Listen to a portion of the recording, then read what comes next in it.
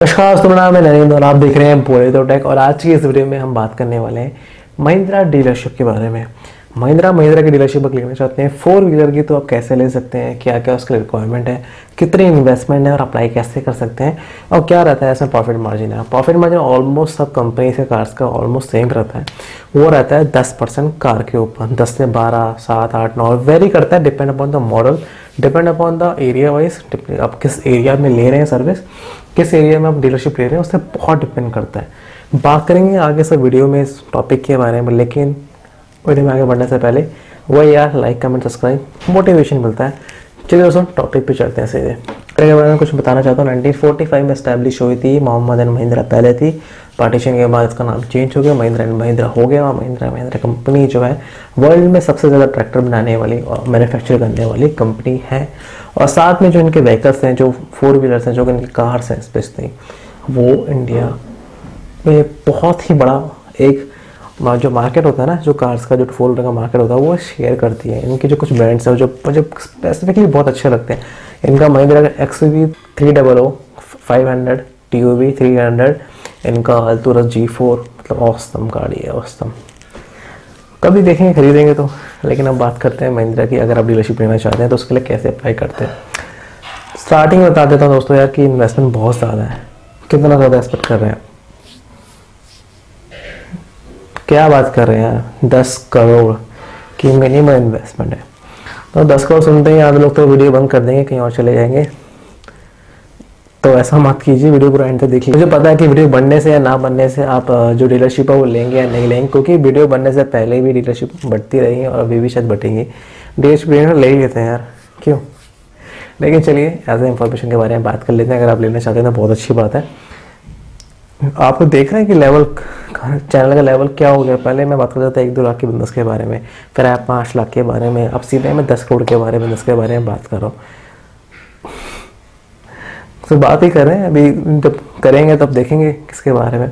चलिए तो मज़ाक की बात है। अब तो अब बात करेंगे इसकी इन्वेस्टमेंट के बारे में। दस करोड़ तो मिनिमम आपको चाहिए चाहिए स्पेस पे ऐसी जगह पे चाहिए जहाँ पे थोड़ा सा वाइड स्पेस चाहिए क्योंकि कार्स हैं यार बाइक्स पे यानी कि चलो छोटे एरिया में भी आ जाएँगे तो कार थोड़ा बड़ा स्पेस चाहिए होता है। और, और मेन स्पेसिफिक ऐसी जगह होनी चाहिए जो रोड के पास हो जहाँ से ईजिली गाड़ी जो ईजिली जो आपके कस्टमर है आ सके और जा सके।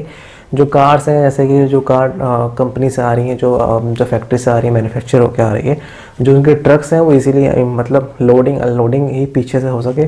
और साथ में आपको ऐसी स्पेस भी चाहिए कि उसके अंदर जहाँ पे आप सर्विस के लिए जब बाइकों की सर्विस हो गई है और जहाँ पे स्पेयर पार्ट रखे जाते हैं, वो भी साथ में इंक्लूड करनी पड़ेगी।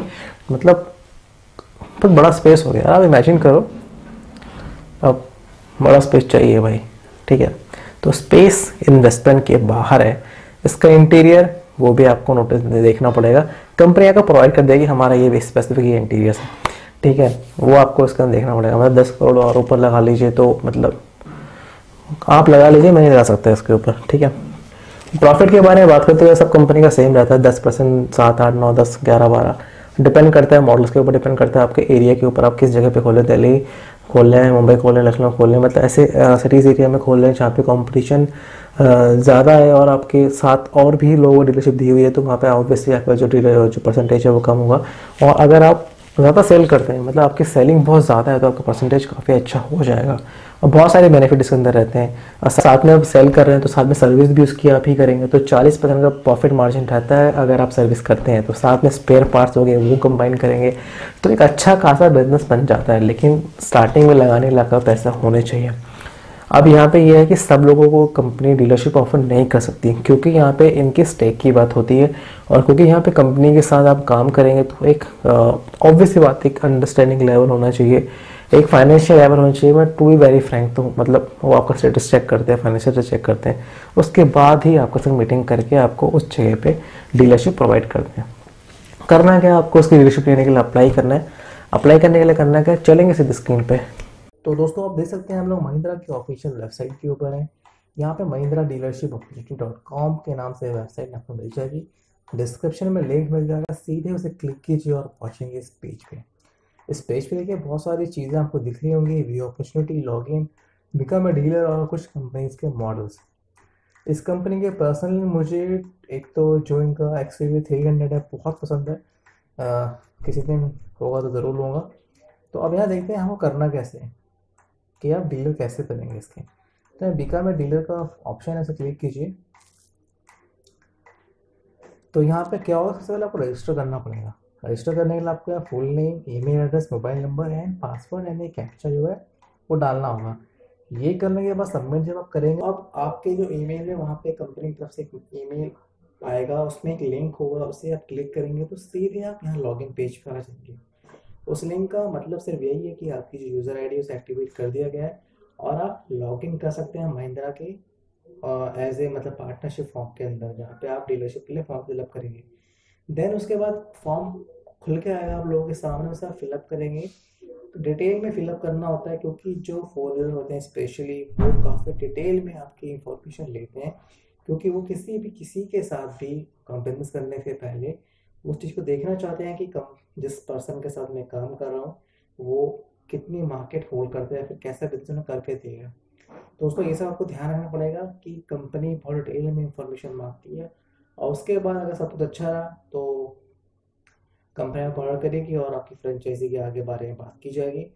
है इन्वेस्टमेंट बहुत ज़्यादा है इसके अंदर और देख के इन्वेस्ट कीजिएगा और प्रोसेस बहुत ही टफ रहता है इसके अंदर। और अगर आपको एक्सपीरियंस नहीं है इस बिज़नेस का कि आप अगर इस बिज़नेस से ऐसे, इस फ़ील्ड से नहीं आ रहे हैं तो आपको शायद अपॉर्चुनिटी भी ना मिले।